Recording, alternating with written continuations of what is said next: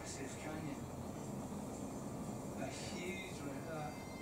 You can see I've got to descend 150 metres at least.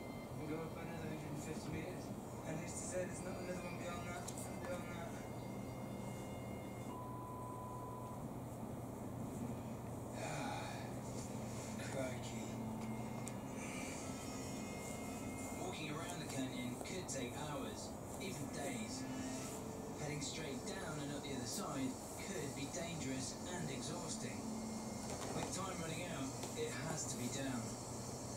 Gonna take this little gully here and go all the way down to the valley bottom.